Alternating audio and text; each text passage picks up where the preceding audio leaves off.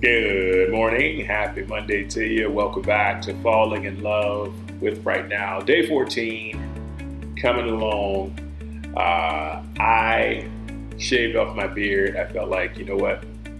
It's time. You know, I always like to change things up a bit, but, you know, usually I'll get the inkling to, to do something different. And this is good, man, especially with the heat in South Florida. It's like, whoa, okay. Um, Anyway, like I said, uh, day 14, and not even really sure what I'm going to talk to you about, but I just kind of want to allow it to come through and be as genuine as possible. Um, and I just realized what I'm going to say. So, vibration. Vibration, or also known as frequency.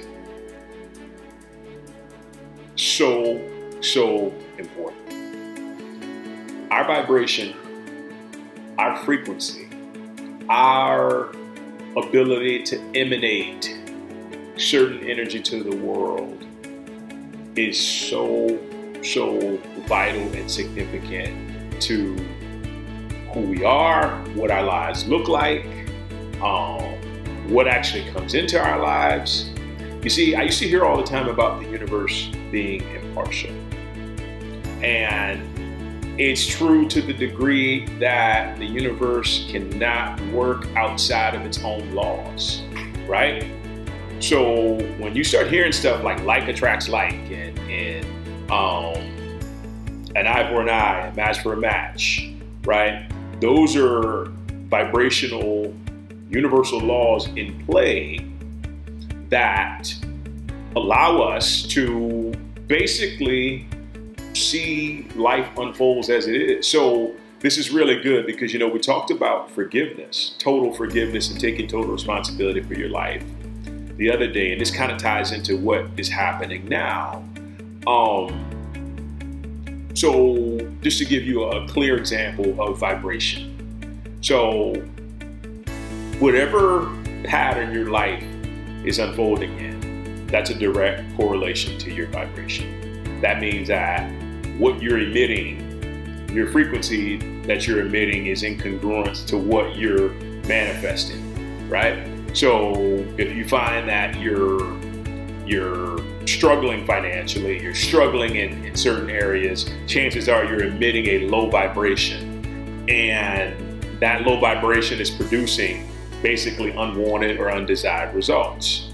So how do we fix this?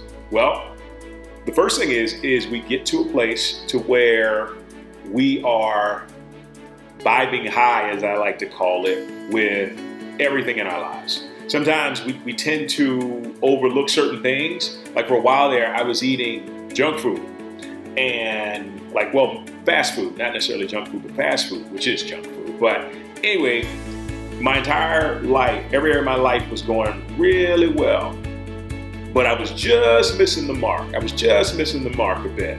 And I'm like, man, what is it? What can it be that's kind of holding me back? And then I looked at my, my, my nutrition. I looked at how I was eating foods that had no nutrients, that were completely, I was just completely empty, right? And it was affecting my energy. So I couldn't do the things that I desired to do because I didn't have the energy.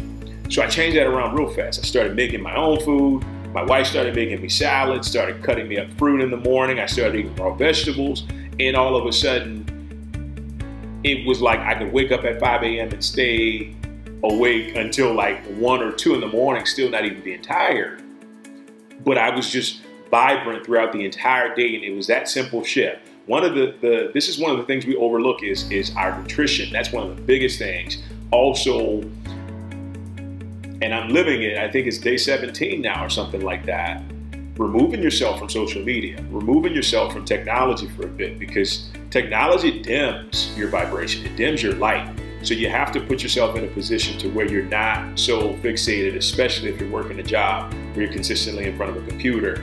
You want to separate yourself from junk food, empty food, empty calories, food that has empty nutrients, that has no nutrients whatsoever and you want to put yourself more in nature, put yourself more into meditation.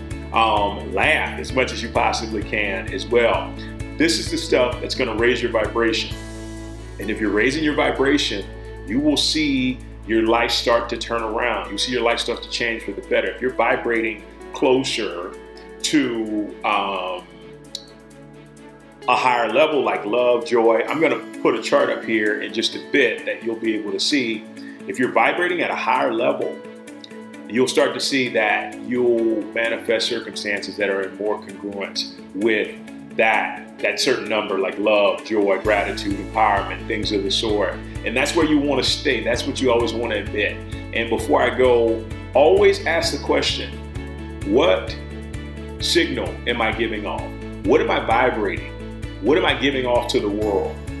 And then wait and listen to see what you what it is you hear, and that will tell you the vibration that you're giving off. Because if it's not a good vibe, if it's not a beneficial vibration, then you can change it immediately right away.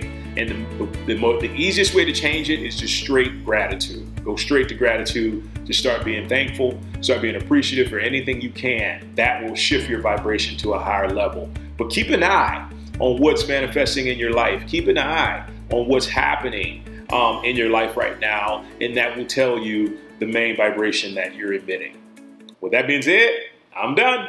Talk soon, guys. Take care.